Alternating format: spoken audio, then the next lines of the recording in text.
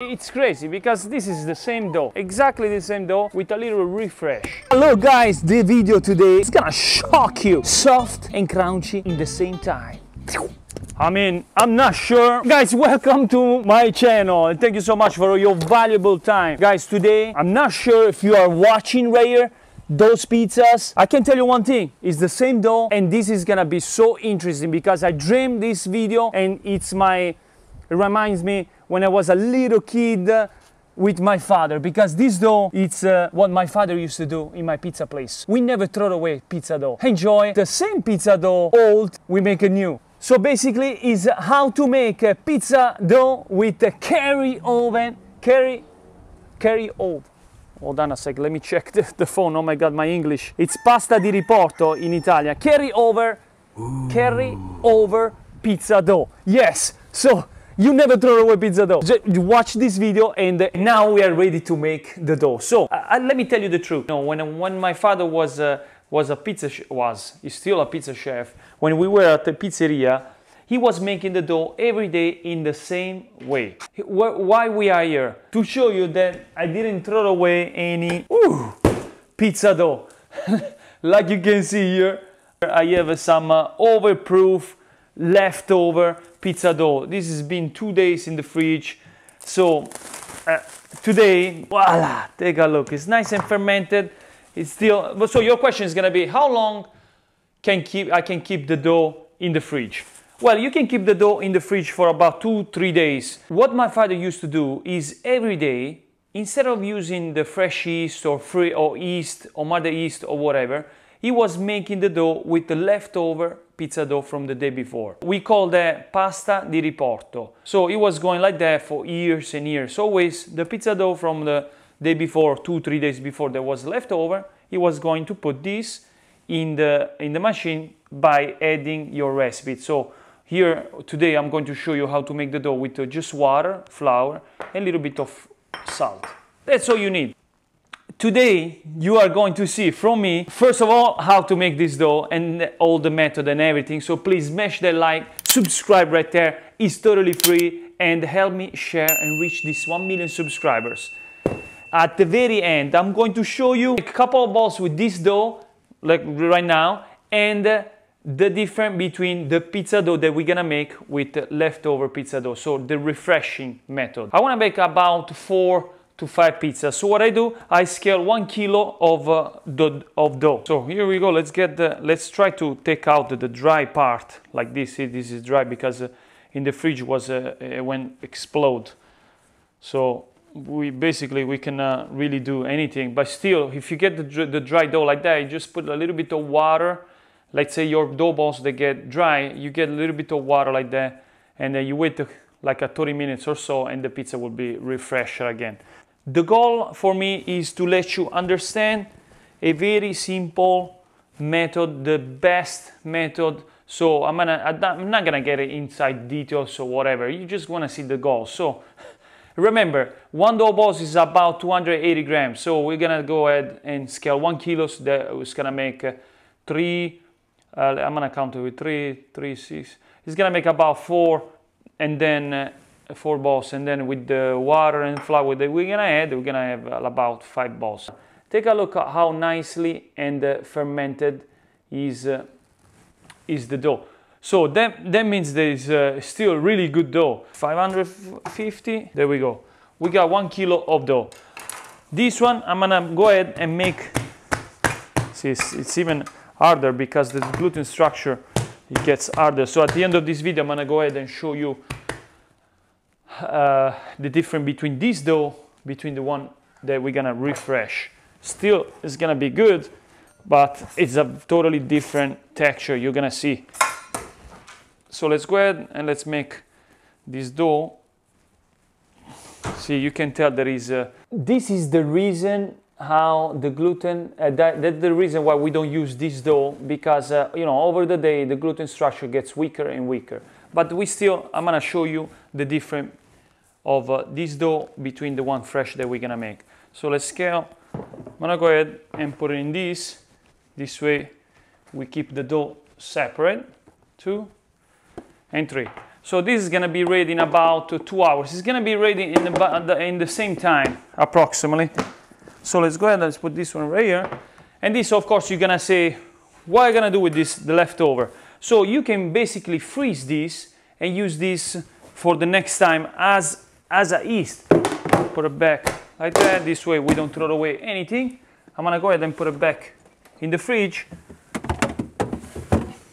But when I finish this video, I'm gonna put it in the in the freezer. There we go. So now we're ready to make uh, the pizza dough. One kilos of carry-on dough, 200 milligrams of water, 220 grams of flour, and just 5 grams of salt.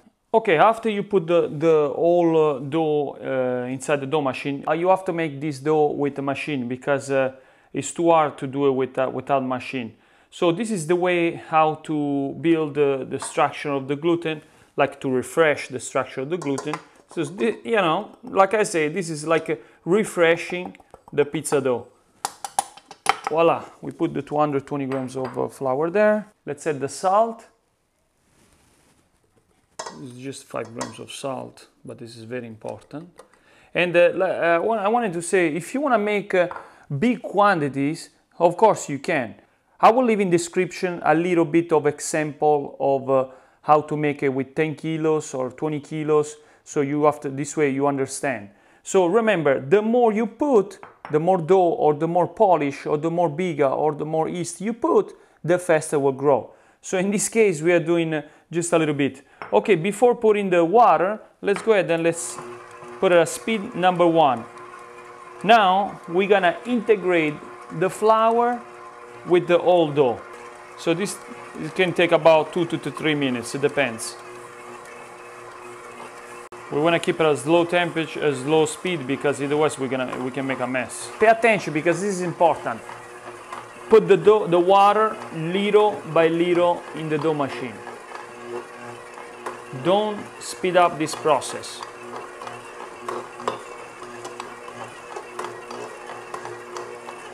Actually, the best way, what I like to do, is to go with the spoon. This way you go directly on top of the dough.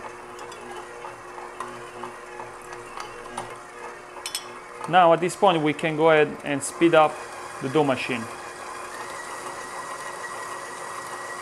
And wait, every time that you pour the water in, you're gonna wait that the dough integrates the water. So we have to wait. This process can take about to, up to 10 to 15 minutes. Make sure you don't over knead the dough. There we go. So now we wait just that this dough integrates the, the water that we just put and uh, we are ready to go ahead and do the second step. So when the dough will detach from the machine, is spectacular ready. And uh, voila, Whew. the dough is uh, lovely ready. So now let's go ahead and see what we're gonna do next. Let's get a little bit of uh, olive oil like usual a little bit, not too much. On your hands, a little bit on the floor, lightly, and on the spatula. Just like that. Boom, boom. Voila. The dough on the counter. Voila. That's how you find the lovely fresh dough. Love fresh dough, yes. Little bit of uh, olive oil on top and the nice thing is that you can also increase the uh, you can also increase the, uh, the, the, the amount of the water, so the hydration. This way, the dough comes out a little bit more strong, a little bit more soft and crunchy in the same time. So now lightly tap, tap, tap on top, and we let it rest for about 10 minutes to 15 minutes before making the dough balls. So just like that, at the room temperature. So let's, let's rest it and see you in 10. Voila guys, 10 minutes is passed by. In these 10 minutes of uh, resting, the gluten got a build up nice and stronger. So let's go ahead and let's make the dough balls. Fantastic. Can't believe. I mean, if you see this dough, you don't believe that this dough was uh, from uh, uh, four, uh, four days ago. Actually, three, from three days ago. little bit of uh, olive oil, tap tap tap, and uh, take a look, nice and uh, smooth. That's the goal of today, soft and crunchy. Uh, you might ask, uh, can I use again this one for tomorrow or after tomorrow? Yes. You go ahead, put it back in the fridge, make a ball, put it back in the fridge, and it's good if you do the same thing over and over. And remember, we didn't put any any yeast here. So, so now let's go ahead and tie it up the dough ball and put it in the box. Then, boom, voila, dough is ready. Now, let's wait one hour and a half to two hours. And voila, so now let's go ahead, let's uh, fire up the pizza oven with the gas. I'm thinking I should show them a couple of tricks. No, let's wait to the next video for that because I don't want to get confused with different things. So now let's go ahead, let's prep everything, fire up the pizza oven and uh, I'm gonna go ahead and show you the difference between fresh pizza dough versus the old pizza dough. Phew. Let's, oh my God, voila guys, can't wait to show you. Everything is ready, everything is set. We got the ingredients, we got olive oil, mozzarella, classic fresh tomato, parmesan cheese and fresh basil. Special guest, my daughter. Say hi. Hi, How are you everybody? I'm good. No, I I know they are good. How are you everybody? I am baby everybody. So here we go. We're gonna go ahead and test the uh, the temperature of the pizza. There we go. The temperature of the oven. Can't wait to show. Oh my! Oh my God! Can show, I can't wait to show you. Let me get this out of the sun. Let me show you uh, how is the dough. Definitely take a look. The one on the left is the one that. i did you see the gluten structure? It's a little bit broke. See, compared to the refresh one. Outstanding. Can't wait. Let's go ahead. See, let's make it.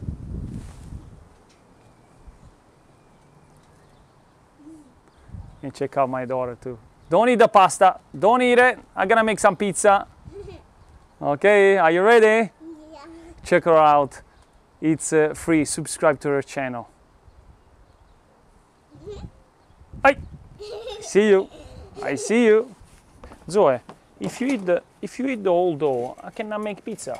Not even a pizza, Zoya. I know that you're gonna make pizza, okay? Now let me make the pizza first.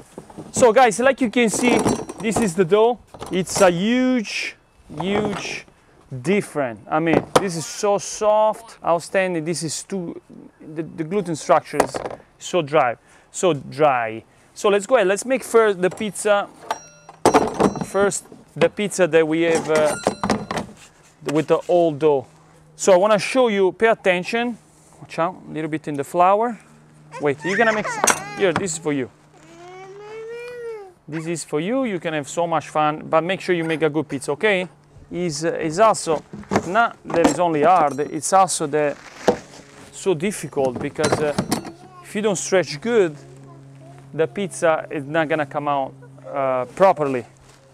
It's more than more than uh, uh, everything. The, more, the biggest problem here is that he's nervous. Nervous that means they go back and forth, back and forth. So it's mad.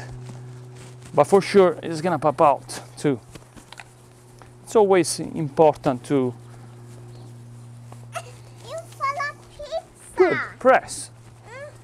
Uh, it, it, a trouble to stretch because it's so hard and goes rips. Hold on, let me show you. So this stretching it, it is very hard, but I want to show you the the structure of the gluten. If you can see, mm, see, it, it looks like there is a, is getting ripped apart. So let me make it exactly the same pizza. We're gonna go ahead and see the structure inside and the flavor, most importantly. Voila. Parmesan cheese, Mama, little bit of basil, and a little bit of fresh mozzarella. We're gonna make us some perfect pizzas. Right there, a bit of uh, olive oil on top. We're ready to go in the oven. Ooh, the oven is it's really hot. Pinch it. Zoe, wait a second. You can eat this pizza, not not the raw dough. It's not bad. There's nothing wrong to eat the raw dough. but it's better to eat the, the regular, regular pizza. Okay guys, now we are ready to go in the oven. It's nice and hot. Like you can see, we're gonna make a nice 12 inches pizza. Boom, boom, boom. Let's go ahead and let's go in the oven. It's been warming up for uh, one hour. I repeat that we're gonna go ahead, opla, and compare the two pizza at the end. So I'm gonna go ahead and leave it right here next to the oven. Lower down the flame. Boom, boom, boom, voila. So if the oven is too hot on the bottom, that means that the, the that means that uh, the oven was on too much time. So I'm keeping the peel under the, the pizza. This way the bottom of the pizza doesn't, this way the bottom of the pizza doesn't get burned. Okay, the pizza is about to be ready. Voila, pizza is ready. Like you can see, probably you're gonna say, oh, it looks so nice and beautiful. It looks so nice and beautiful, but uh, I want to show you a couple of different of uh, old dough and why it's old uh, compared to the new dough. So let's put this on the side, and right away let's make before we make a mess the other pizza with the new dough. Wow, looks so fantastic. Uh, right away you can tell that the dough is much softer. It looks like we made it an hour ago. Well, we made an hour ago. Voila, perfect. Now we stretch. Press all the air to the crust. Tum, tum, tum. Much easy to stretch. Mommy, you like money. Voila. Go wash your hands, yes. Hold on. Go wash your hands. Voila. Go for. Sorry, guys. But if you have kids, you understand. anyway, so now let's press. Like you can see, it's nice and soft. Again, we didn't put any yeast, zero. And the, the dough grow in about, look at it, this is the structure. The, glow, uh, the dough uh, glow, uh, grow in about only uh, one hour and a half. Same, same, uh, actually the other one was two hours. So let's go ahead, let's put the tomato sauce on top. Voila, Parmesan cheese, fresh basil, and fresh mozzarella. Little bit of uh, olive oil, and let's put it in the oven. Make it a little bit larger. This is also, it's not nervous at all. Let's go ahead, let's put it in the oven. Same spot. This is uh, one dough. Wow, pizza is uh, lovely. It's getting, it's crazy because this is the same dough, exactly the same dough with a little refresh. Jumping, jump. Papi, now you got pizza. Yes, you're gonna eat it with me now. Yeah, Daddy. I know. I want to eat, Daddy. I know you wanna eat. There we go, guys. The pizza. Ooh, the pizza. Boom! It's lovely ready. I mean, take a look of this one. Take a look of the structure of the structure of this pizza. It's crazy. The different. It's unbelievable. This one is the like you can see. The dough looks like a little bit uh, uh, white and yellow with a little bit of black dots there. I mean, take a look of the of this one here. See the crust, nice and puffy, a little bit more smooth crust, different bubbles. Now you judge in the comments. Let's see the inside. I want to explain to you what we are talking about and uh, why it's so important to refresh the dough. Why it's so important to refresh the pizza dough. Voila. So guys, this is the structure, the inside of the dough. Let me show you closely. Did you see? This is the, the, the one that we refresh and this is the old one. Here on the, on the, the old one, did you see? This is, uh, it didn't puff out too much, it didn't pop out too much because uh, the the the, the structure. So basically, because the dough it's uh, it got hold, so the gluten got so weak. So probably even the taste is not so good. This one instead, it's uh, the, it's like fresh and new. So now it's just time to go ahead and taste. Let me smell it. Yeah, even the smell is different because you can tell that this is a little bit old. It's a little bit more heavy compared to this. So this is so light. I- It's crazy because this is the same dough and uh, just just a refresh. So let's go ahead. Let's see.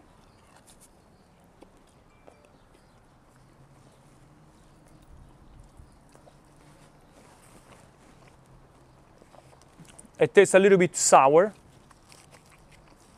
but uh, similar when you make the pizza with uh, sourdough. Mm. Definitely, the crust uh, feels so light and so good. Uh, for me, this this video it's crazy. Nobody ever done something like this before and uh, only my father used to do it like that. So please, guys, go ahead and share. And if you are interested, go ahead and check out my my master, my my full course online of masterclass. It's crazy, unbelievable. Link in description and uh, link in description for this recipe. Thank you so much, guys, for watching. I'm gonna go ahead and eat this with my daughter. She went inside, and uh, I'll see you the next one. From next video is gonna be so interesting like always. Thank you so much, guys. Smash that like and I'll see you on the next one. Bye.